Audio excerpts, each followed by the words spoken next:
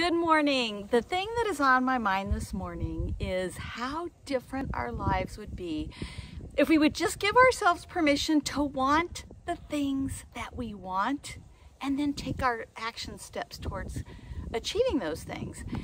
So when I think about my journey to becoming an entrepreneur, I had an amazing job in corporate, one that I absolutely loved, and colleagues who I respected and enjoyed working with.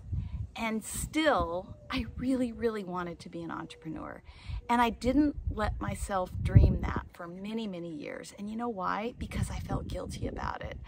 I had a great job, I had a great income, there was stability for my family. And every time this idea of wanting to be an entrepreneur would start to creep up, I would push it down. And I would think that's too risky, that's ridiculous.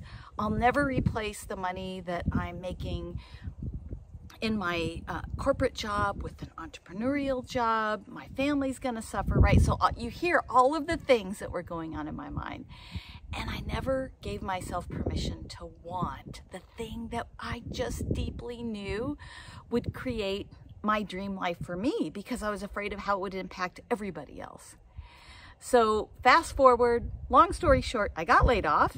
I had a choice to make. Do I go entrepreneurial or do I go back to corporate? And I chose the entrepreneurial route. And I have to tell you, there was a reason I wanted what I wanted. This is exactly the life that I have wanted to live.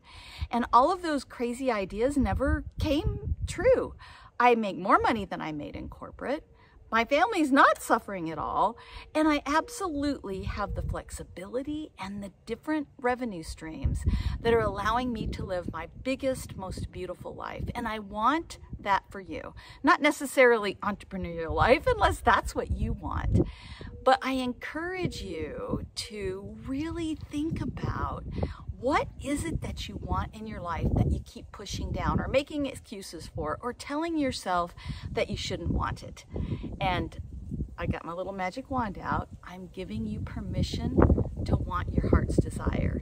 Now, own it, take those small steps, and just start moving towards that dream life. I promise you, when you allow yourself to want the things that you want, there is something beautiful waiting for you on the other side of all of that fear.